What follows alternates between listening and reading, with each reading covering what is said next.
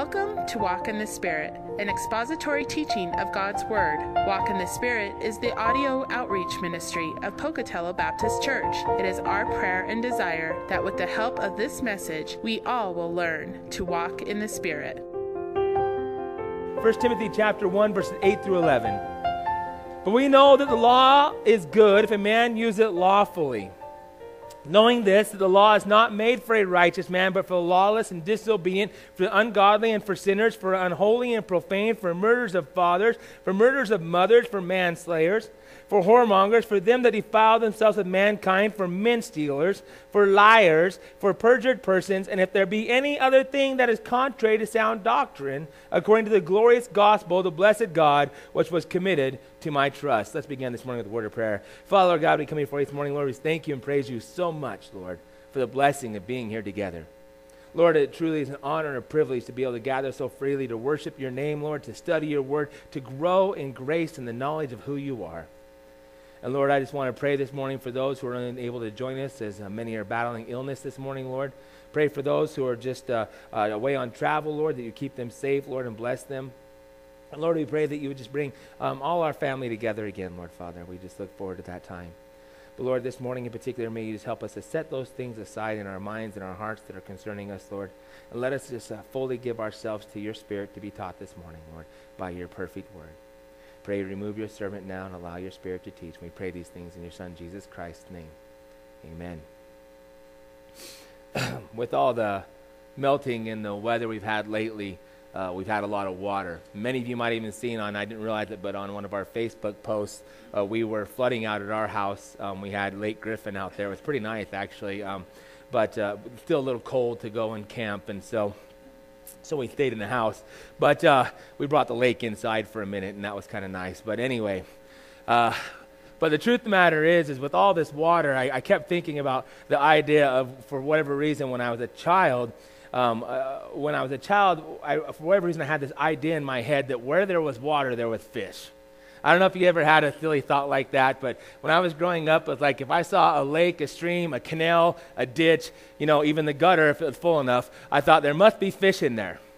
I mean, it just made sense to me because every time I went fishing, there was water and I'd catch fish out of the water. And, and so, so I remember several times as a child, you know, you'd always do that thing where you'd get a piece of yarn from your mom or something like that, and you would tie something on the end that you thought the fish might be interested in, usually like a cookie or a Cheeto or something like that, something you're interested in, and, uh, and a stick, and you would just put it in the water and wait for the fish to come. They had to be there because there was water uh, I, I, bring up this idea of where there's water, there must be fish, and the ability to fish because of this one thought, this one illustration I have this morning for us. How many of you ever heard of the old, or excuse me, the, uh, heard of the Royal Gorge Bridge?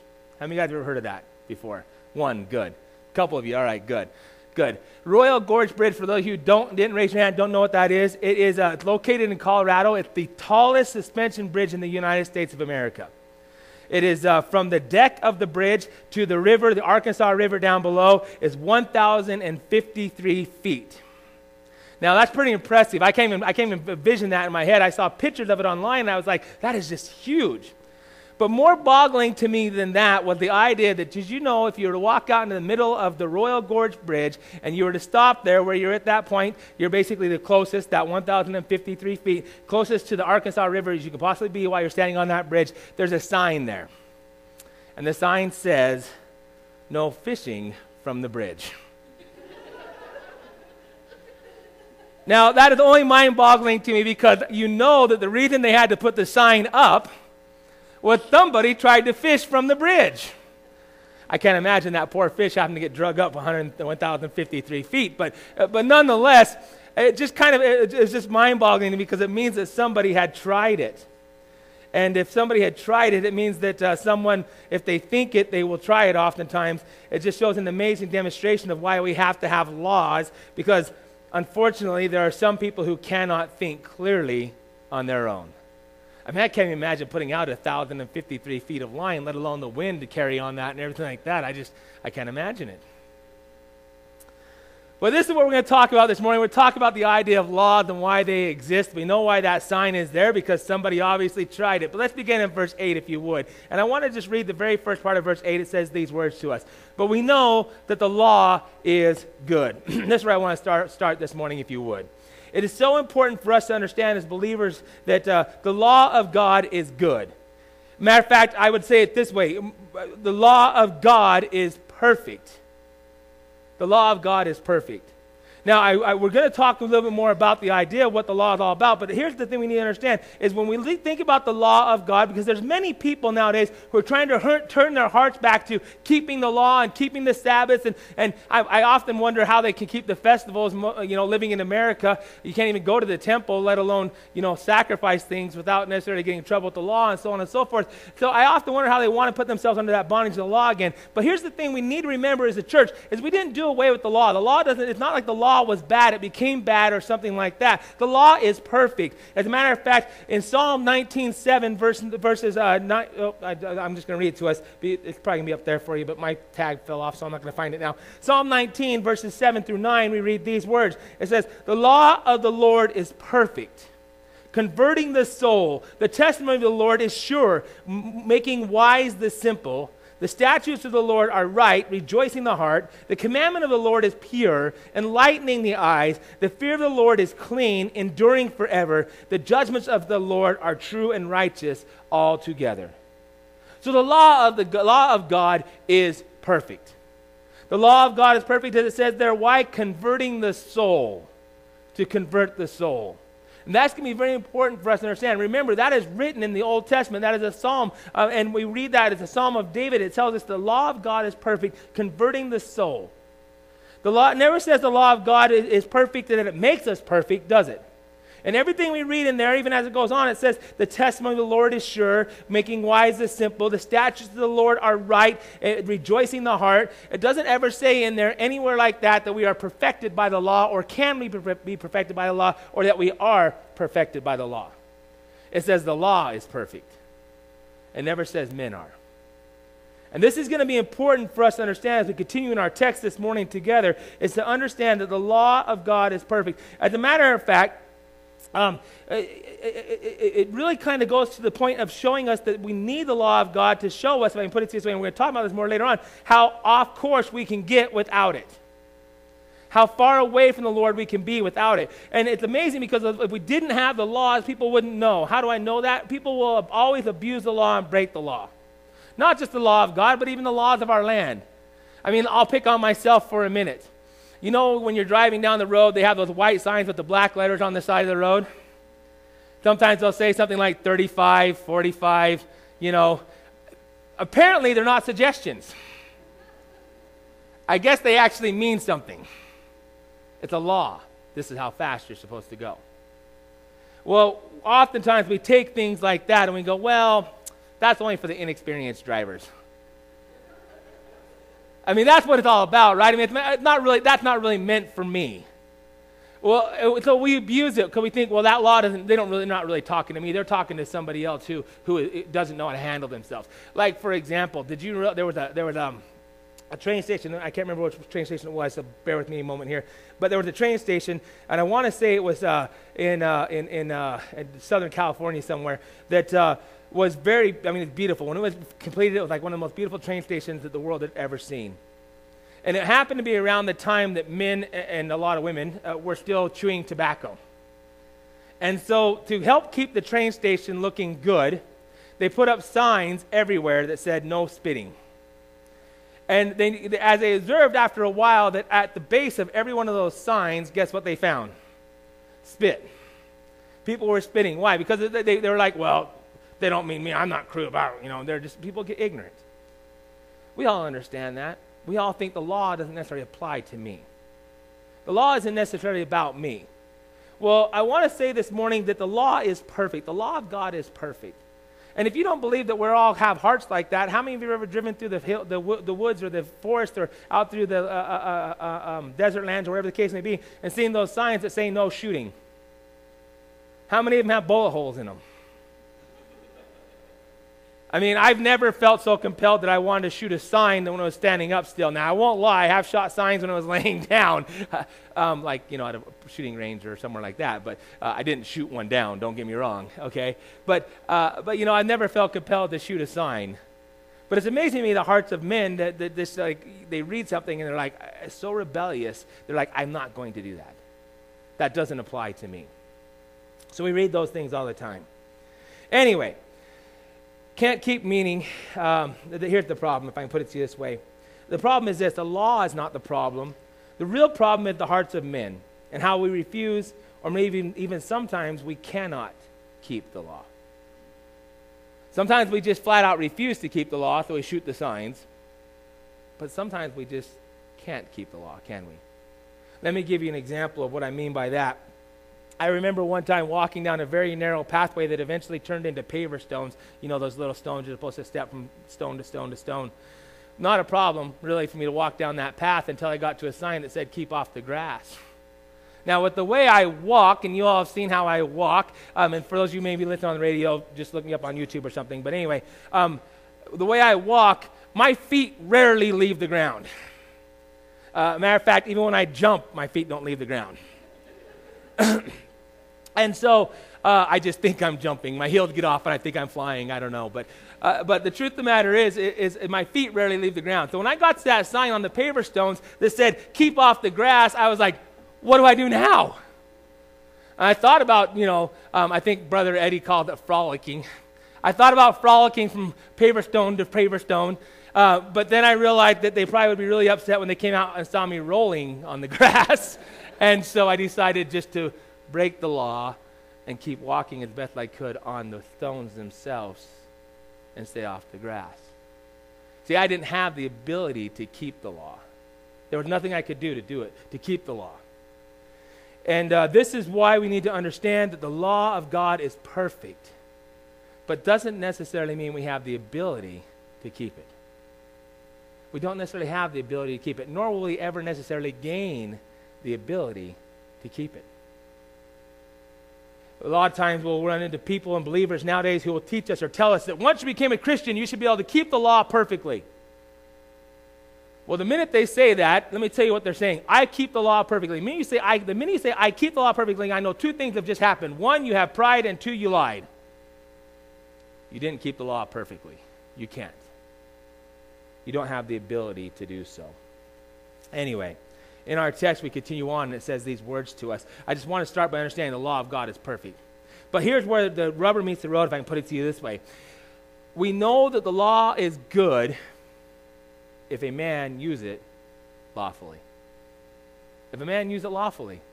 This is where the rubber meets the road, so to speak, in this text. The word lawfully there means legitimately. To use the law the way the law was intended. Now, we know that there are a lot of people, we're coming on tax season, and there are professionals that we pay who know how to use the law, not necessarily the way the law was intended to help benefit people, don't we? They're not using it legitimately, so to speak. This is one of those, those, uh, uh, one of those areas that I won't lie, I have a hard time with because, because the law is there, there's a loophole there, somebody can get around it and they take advantage of it. Should I really be upset with them or should I be upset with the law? See, our law is not perfect, but the law of God is perfect. There is no loopholes. You can't get around it. And so, understanding that, we need to understand we need to use the law the way the law was intended to be used, or legitimately, if I can put it to you that way. This is where we, we, we need to find, uh, where we often run into the problem in the church, is because men and women will use the law not in the way it was designed, but they'll use the law to put themselves and others into bondage again, not using the, man, the law in the manner that the Lord designed it for. Instead, they'll make up rules for themselves and others, and they will, and they will hold not only people to that standard, to said law, but they will also become of the judge of said law and others, and that's where their heart goes. Well, they must not be, or they must be, or they must be struggling with, or they're having a hard time with because they can't stop, you know, doing blah, blah, blah. Or maybe it's the way they dressed, or, or, or what they, how they speak, or, or how, you know, what color their hair is, or whatever the case may be. We all make, make up our own little laws, our own little rules. And we quit using the law of God legitimately for what the law of God was intended for. The law of God was not so that we could sit there and judge others and become better than them in our own hearts and our own minds. That's not what the law of God was intended for nor is it still intended for that. The law of God was intended for a purpose and a reason. But Paul warns us about those who would come in and try to put us back into that bondage under the law again. And turn with me to Galatians chapter 2, and we'll look at verses 1 and 6. 1 through 6. Galatians chapter 2, verses 1 through 6. Paul warns the church at Galatia about these same people. In Galatians chapter 2, verses 1 through 6, we read these words. It says, then, 14 years after I went up again to Jerusalem with Barnabas, and took Titus with me also, and went up by revelation and communicated unto them that gospel which I preached unto the Gentiles, but privately to them which were of reputation, lest by any means I should run and had run in vain. Paul says, I went to Jerusalem, I went to share with the, the, the leaders of the faith, if I can put it that way, men of reputation, how I, what I was, the gospel that I was sharing with the Gentiles. And then he goes on. But neither Titus, who was with me being a Greek, was compelled to be circumcised. And that because of false brethren, unawares brought in, who came in privily to spy out our liberty, which we have in Christ Jesus, that they might bring us into bondage. To whom we gave place by subjection? No, not for an hour, that the truth of the gospel might continue with you.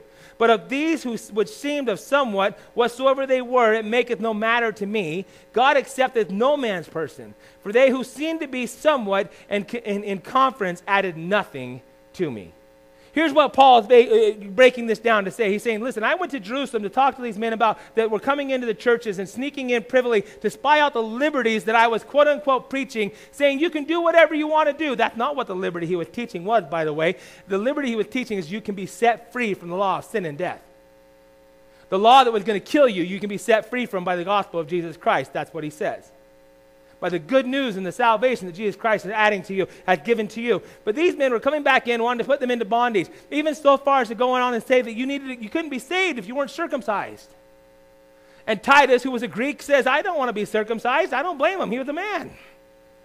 There's a reason why we do that when a child is born, when a young man is born. We do it in their first couple stages of the life because their memory won't last, because if it did, they'd kill us all we, so, so he said, I didn't, I didn't feel compelled to be circumcised. And this is what he says. Listen, I, you know what? These false brethren come in and, we, and they come out to spy out our liberty. And then I love how he puts this. And we gave them place by subjection. He gives it a, as a thought. We, so we, what we did is we went ahead and gave ourselves place by subjection. We sat down underneath their rule. He said, no. No, we did not. Instead, we stood up and told them, in essence, we stood up and we, we, we said, listen, that is not right. We didn't even give that thought and uh, place in our hearts for an hour. Why? That the truth of the gospel might continue, not the truth of the law, that the gospel might continue. These who would come in and, and put us in, in, into, in, into subjection. And I love the point that Paul points out. They come in, they, pri- they privately spy out the liberty which we have in Christ Jesus. Now, what is the liberty that we really have in Christ Jesus? The liberty is simply this I am going to heaven no matter what. I mean, by trusting the Lord Jesus Christ, as my, placing my faith in the Lord Jesus Christ as my Lord and Savior, I have salvation and going to heaven. That is the gospel, period. By believing the Lord Jesus Christ, I am saved. So, what is the liberty I have now? The liberty is this I no longer have to feel guilty when I fail to keep the law. It doesn't mean I'm not going to try or strive to obey my Lord's commands and try and strive to be obedient to my Lord. But I no longer have to go, well, I have to do that. And by the way, what command are we supposed to keep? We know we're not supposed to keep the land, commands of the sacrifice, are we? Because this perfect sacrifice, the perfect Lamb of God came. And to now go and uh, sacrifice a lamb on an altar and, and bleed it out and, and pour the blood upon something would be an offense to who God is to say that his sacrifice wasn't good. So we know it's not that law. We know what law we're supposed to keep. We've been talking about that over the last couple of weeks, haven't we? Love the Lord thy God with all thy heart, soul, and mind. This is the first and great commandment. And love thy neighbor as thyself. That is the liberty we have. That I get to love my Lord now, and my love for my Lord and my Lord's love for me is not dependent upon my, my perfection in the law the same way that a parent loves a child. And that's why he calls us his children so often, and why we cry out, Abba, Father. Because we understand the liberty we have now is not about the law. The liberty we have now is not that we're going to ignore the law. The liberty we have now is I no longer have to feel guilty when I can't keep the law. I can't do it. Lord, you know me. Yes, he can get a, we can get better with age and time as we grow in the Lord Jesus Christ, and we should, by the way. But, that's, but we all grow at different rates, don't we? Some of us come out and we shoot up and we're like trees within a couple years. But some of us come out and it takes us years and years and years to even have a blade, blade on us. And that's okay. Because it's between you and the Lord. I would rather, and I'll be honest with you guys, I would rather have somebody come in here who takes years to come to the knowledge of what freedom there really is in, uh, in, in obedience to the Lord Jesus Christ than have somebody come in here and conform into the image of my mind of what a Christian should look like, and after they feel like they can't keep it any longer, fail and go away. I'd rather give them grace because my Lord does. Go ahead and back in our text now. We understand that there are those who would come to try to put us back under the law, those who would come to try to put us back under bondage of the law. There's those who just put themselves under the bondage of the law. And I don't understand why, what, what they think they're going to accomplish by doing so. Because he tells us right here now, as we continue on our text, this words. He says this in verse 9. He says, The law is not made, listen to this, the law, knowing this, that the law is not made for a righteous man, but for the lawless and disobedient, for the ungodly, for the sinners, and it goes on from there. Knowing this, that the law is not made for the righteous man. Ooh, that's a deep one, isn't it? That's a deep one. So now, if I was to pose this question to you right now, who is righteous? Most of you have an answer right now in your mind. Well, we know Lord Jesus Christ is righteous, don't we? We know that. I might blow. I might. I might challenge your mind a little bit here this morning about who is righteous and who's not righteous. You ready for this? Turn to me to Philippians chapter three. Philippians chapter three, verses one through eleven. Who needs to be bound by the law? Who needs to keep the law? Who's still under the bondage of the law? Philippians chapter 3, pick up at verse 1 when you get there with me, if you would.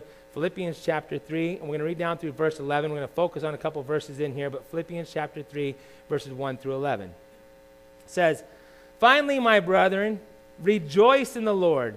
To write the same things to you, to me indeed is not grievous, but for you it is safe. Beware of dogs, beware of evil workers, beware of the concision.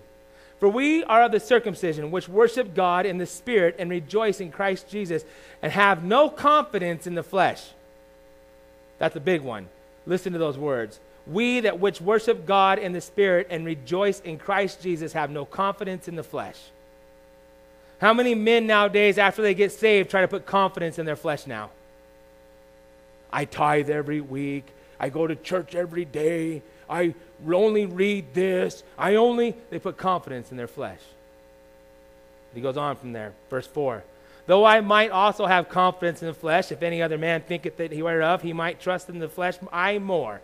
Here's Paul. Circumcised the eighth day of the stock of Israel, the tribe of Benjamin, a Hebrew of the Hebrews as touching a law, a Pharisee, concerning zeal, persecuting the church, touching the righteousness which is in the law, blameless. But what things were gained to me, those I counted lost for Christ, yea, doubtless, and I call, count all things but lost for the excellency of the knowledge of Christ Jesus my Lord, for whom I've suffered the loss of all things, and do count them but dung, that I may win Christ.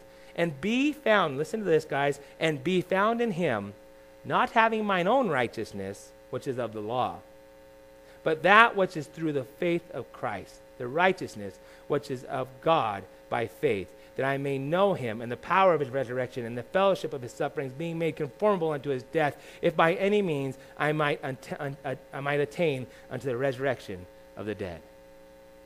Listen to what righteousness Paul wanted to have.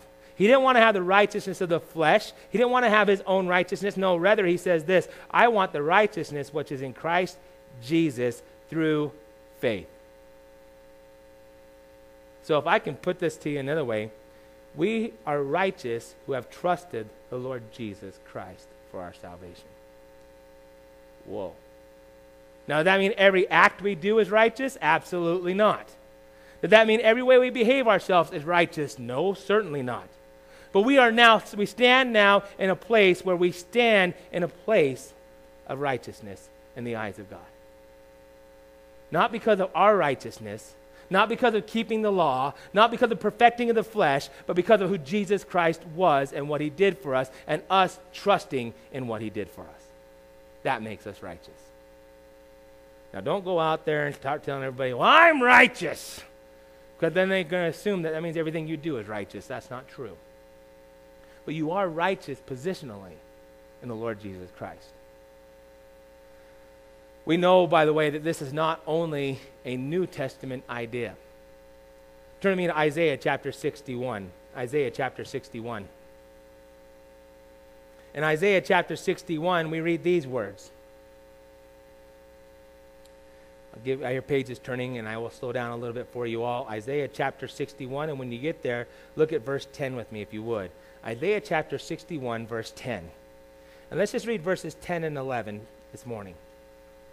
Isaiah 61:10, we read these words. 61:10 says, "I will greatly rejoice in the Lord. My soul shall be joyful in my God, for he hath clothed me with the garments of salvation, he hath covered me with the robe of righteousness." As a bridegroom decketh himself with ornaments, as a bride adorneth herself with her jewels. For as the earth bringeth forth her bud, and as the garden causes the things that are sown in it to spring forth, so the Lord God will cause righteousness and praise to spring forth before all the nations. Listen to those words. He clothed me in his sal- garments of salvation, and he covered me with the robe of righteousness. So, if I can put it to you this way, the positional part of that is what? To be covered by that robe. What is that robe? It's the, it's the Lord Jesus Christ and his salvation. That's what makes you righteous. And that's who is righteous now. So, as you turn back to our text, I want to share with you one other verse. Um, as you're turning back to, to, to 1 Timothy, just listen to these words. From Romans chapter 3, verses 19 through 25, it reads these words to us. Know we, excuse me, now we know that what things soever the law saith, it saith to them who are under the law, that every mouth may be stopped, and all the world may be guilty before God. Therefore, by the deeds of the law, there shall no flesh be justified in, the, in, his sight, for the law is a knowledge of sin. But now the righteousness of God without the law is manifested, being witnessed by the law and the prophets, even the righteousness of God, which is by faith of Jesus Christ, unto all and upon all them that believe, for there is no difference. For all have sinned and come short of the glory of God, being justified freely by his grace through the redemption which that is in Christ Jesus, whom God hath set forth to be the propitiation, I mean, the, to be the propitiation through faith in his blood, to declare his righteousness for the remission of sins that are passed through the forbearance of God. Listen to those words. Even the righteousness of God, which is by faith in Christ Jesus, unto all and upon all them that believe. So when we read now back in our text in 1 Timothy chapter 1 verse 9, knowing this that the law is not made for the righteous man, let me tell you who the law is no longer made for. The believer in the Lord Jesus Christ. The law was made, as it said even there, our, as it even said there in our passage we read in Psalm, that the law of the Lord is perfect, converting the soul. The law was made that you might be converted, that you might see your shortcoming and see how you could not keep it, how you could not attain, how you could not be perfect in the flesh, and how you needed a Savior, the Lord Jesus Christ. That's what the law was for. So if you want to use the law lawfully, you want to use it legitimately, you're not using it to put your brothers and sisters into bondage again. You're using it to set dead men, make dead men alive, set uh, uh, captured men or, or, or, or imprisoned men free. That's the law. Now, I'm not, again, I want to be careful here because I know I'm treading on some kind of nice areas here. I'm not saying that once you become a believer, you get to behave anywhere you want to. That's why I have such a hard time with that bumper sticker that says, Christians aren't perfect, they're just forgiven. That doesn't mean you get to behave any way you want to because you get to go, I'm forgiven. You know. And by the way, there'll still be consequences for your actions, even in this life, won't there? Because if, my, if, if, you disobey God and you're walking away from the Lord, you do something, I mean, you go out and you murder somebody, you don't get to go to the court system here and go, Christian, gotta let me go. nope. You'll be a Christian in jail. You'll have a new ministry. All right? And by the way, if I was on the jury and you had killed the person, guess where I'd send you? To jail. Because you, you, you broke the law, you, you deserve that punishment. There's consequences for it. Doesn't mean you're going to hell. I'm not going to say you're going to go to hell because you broke the law. But what I'm telling you is this, is that you need to understand that, that the law is now used to show us how far away from being able to keep it we are. So when we look at the perfect law of God, we look at everything he wanted us to be. I mean, we just go through the Ten Commandments. We can start at verse 1, right? We can start at the Ten Commandments and look at the first commandment, and all of us would have to raise our hands saying we're guilty. We did not. We did not love the Lord our God with all our heart, soul, and mind. We'd have, I mean, I'm paraphrasing what the law says there, right? But we'd all break, we'd all raise our hands and say, hey, listen, I didn't keep that one either. I've coveted. I know, right? I mean, we have been blessed so much lately with a truck and a, and a car and everything like this. And, and, uh, and still, sometimes I drive around and I see a Camaro and I'm like, oh. I mean, uh, we all have these issues. We all have things like that that our hearts just aren't perfect in. But that does not mean that we stand in a place of unrighteousness as believers in the Lord Jesus Christ. We stand in righteousness because our righteousness is not by us or by the keeping of the law. Our righteousness is by Him and by His perfecting us. As we continue on in that passage there, as we read, it says these words to us. So, what was the law for then? It says this knowing this, that the law is not made for the righteous man, but for the lawless and disobedient now, I'm going to pause here for one second. If you find yourself being completely disobedient to the Lord Jesus Christ in every area of your life, I would wonder if I was you, and I'd be concerned if I was you, as to whether or not you have the Lord Jesus Christ. If the last thing you want to do is try to please your Savior, then I would be concerned that you don't have a Savior. But he says this the, that we know the law is made for the lawless, the disobedient, for the ungodly, for the sinners. Now, for the unholy, for profane, for murderers, for fathers or murderers, for mothers, for men, men slayers, for whoremongers, for them that defile themselves with mankind, for men stealers, for liars, for perjured persons. If there be any other thing that is contrary to sound doctrine, I'm going to pause there for a second. As we go through that list, I'm not going to break down what each one of those things mean. You guys can read those and understand what they mean for yourselves. I don't need to break those things down for you. But do understand this that I, I, he covers the whole gamut of every area of somebody who wants to call themselves good. Because he even gets down to those who are liars or just do something contrary to what it, God would have us to do or to sound doctrine. And then he says this in verse 11 according to the glorious gospel of the blessed God, which was committed to my trust. So we know that the law has a purpose. The law had a purpose for the lawless and the disobedient. That's what the law is about. If you really want to get into the law, and I don't know how many of you guys have ever shared the gospel with anybody, but oftentimes there are some who will need to hear the law, isn't there? You go, you go to them, they're like, I'm a good person. I don't, I don't deserve hell. I, I've never done anything bad. Really? Well, let's just start with some of the easier ones, shall we? Uh, have you ever stolen anything, even as small as a paperclip? A penny? Taking something that wasn't yours. Guilty. Oh, all right. Have you ever told a lie, even a white lie, if you did it just to protect somebody else's feelings? Yep. Then you're guilty. Have you ever lusted after somebody else? What do you mean? Have you ever watched a show and thought to yourself, a movie, a, a, a, a TV show, or something like that, ooh, she's cute, ooh, he's sexy? Have you ever, have you ever wanted something that somebody else has? So much so that you don't understand why they got it and you don't. Then you've coveted. So, by our own admission, then, you are a liar, a thief, and an adulterer. Guilty. See, we need to use the law sometimes, don't we? But the law needs to be used legitimately and for what it was intended for. Turn me to Galatians chapter 3. Galatians chapter 3. Excuse me, Galatians chapter 3. And we're going to spend the remaining part of our time in Galatians, so you can just keep yourselves here for a minute. And we're going to close out. In Galatians chapter 3, we read these words. Pick up verse 21 through 27 with me, if you would. It says, is the law then against the promises of God? God forbid. For if there had been a law given which could have given life, verily righteousness should have been by the law. But the scripture hath concluded all under sin, that the promise by faith of Jesus Christ might be given to them that believe. But before faith came, we were kept under the law, shut up unto faith, which should have afterwards been revealed, be revealed to me. Wherefore the law was our schoolmaster to bring us into Christ, that we might be justified by faith. But after the faith had come, we are no longer under a schoolmaster. For ye are all children of God by faith in Christ Jesus. For as many as you have been baptized into Christ have put on Christ. Now listen to these words.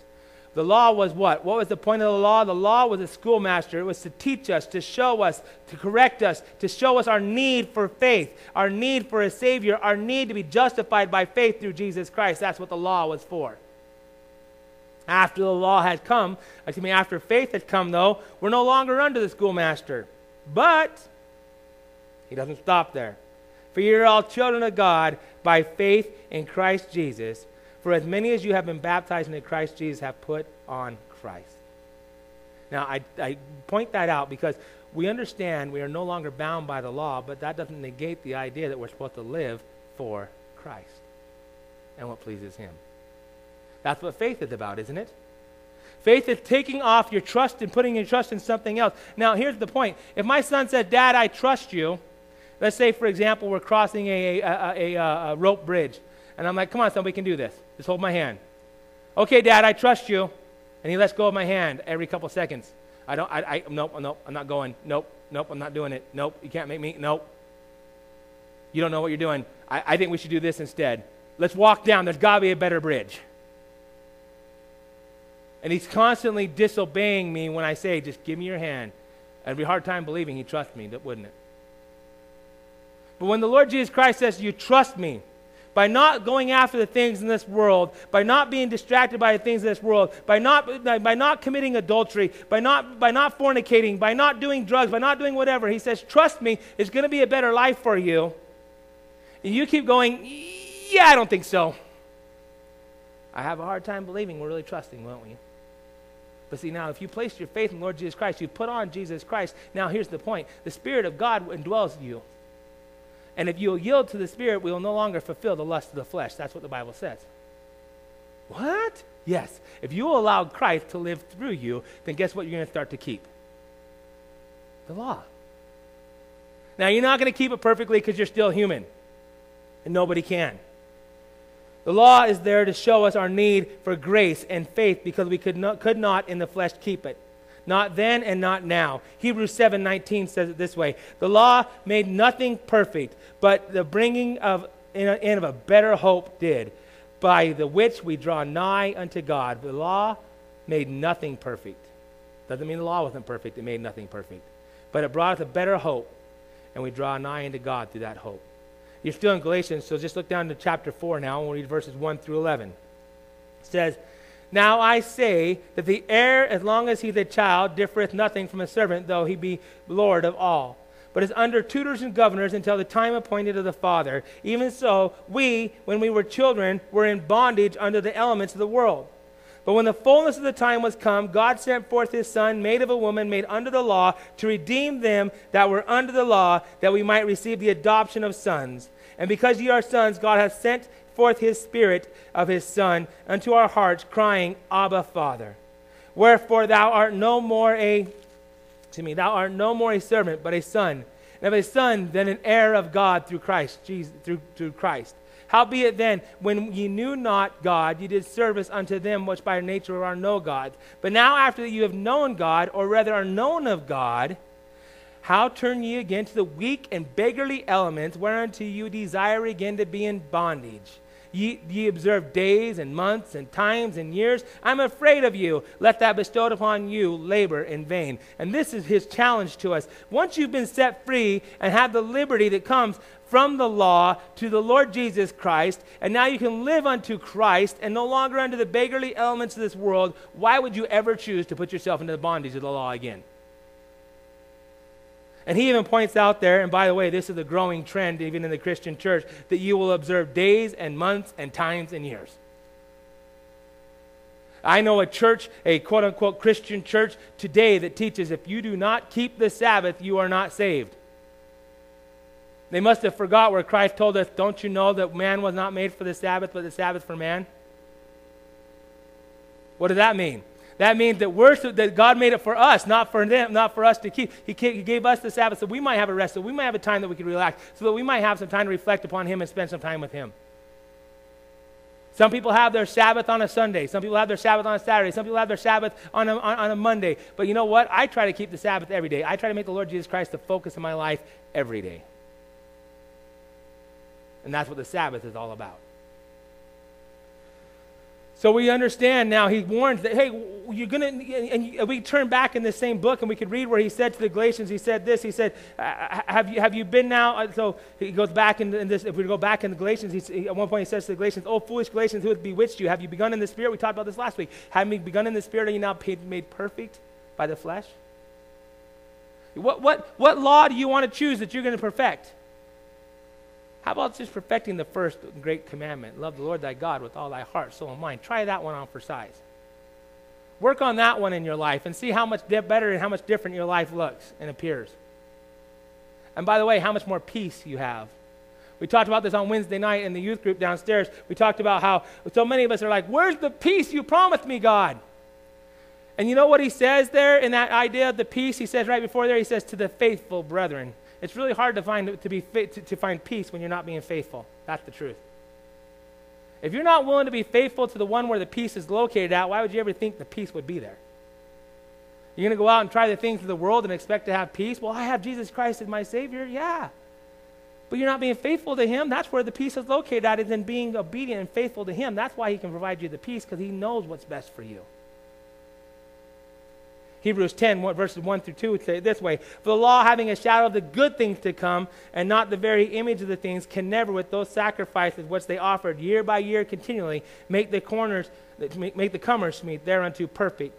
For then we would not have ceased to be, uh, we, they, excuse me, would they not have ceased to be offered, because the worshippers, once purged, should have been made more conscious of sins. Here's the point. He says, hey, listen, you can continue to try to keep that law, but if you think you can perfect that law, then why do you keep to do it? If you've done it once, it should have been good enough. The first time they sacrificed the lamb for, for, the, for, for the remission of sins in Israel, then they should have stopped, shouldn't they have? Why'd they have to do it the next year and the year after that? Because it wasn't the perfect sacrifice. They weren't perfected through that. They weren't made righteous through that. They were made righteous by the grace of God. Period. Even in the Old Testament. We could go through the hall of faith in Hebrews chapter 11. By faith, Abraham by faith, Sarah. By faith, and so on and so forth. It's through the faith that they had in the Lord Jesus Christ that made them believers, made them saved. It wasn't through their works. It wasn't through what the law they kept. It wasn't any of those things. We're still in Galatians, so just look down at verse 14. This one I don't have a slide for, I apologize. But Galatians chapter 5, verse 14 through 26. Read these words. For all the law, I love this one. You ready? For all the law is fulfilled in one word, even this Thou shalt love thy neighbor as thyself. But if you bite and devour one another, take heed that ye be not consumed of one another. This I say then, walk in the Spirit, and ye shall not fulfill the lust of the flesh. For the, lust, the flesh lusteth against the Spirit, and the Spirit against the flesh, and these are contrary the one to the other, so that ye cannot do the things that ye would. But if ye be led of the Spirit, ye are not under the law. Now the works of the flesh are manifest, which are these adultery, forn, uh, me, adultery, fornication, uncleanness, lasciviousness, idolatry, witchcraft, hatred, variances, emulations, wrath, strife, seditions, heresies, envyings, murders, drunkenness, revelings, and the such of like, which I tell you before, as I have also told you in time past, they which do such things, make that their practice, shall not inherit the kingdom of God. But the fruit of the Spirit is love, joy, peace, long suffering, gentleness, goodness, faith, meekness, temperance. Against such there is no law. And they that are Christ have crucified the flesh with the affections and lusts. If we live in the Spirit, let us also walk in the Spirit. Let us not be desirous of vainglory, provoking one another and envying one another. So, my warning and our, my challenge to us this morning is this, brothers and sisters. The warning is this don't put yourself into bondage that you shouldn't be in, and don't allow anybody else to do it either. But fulfill ye the law to the love of God by loving Him and loving each other. That's how we keep it. And remember, you stand righteous as a believer in the eyes of God.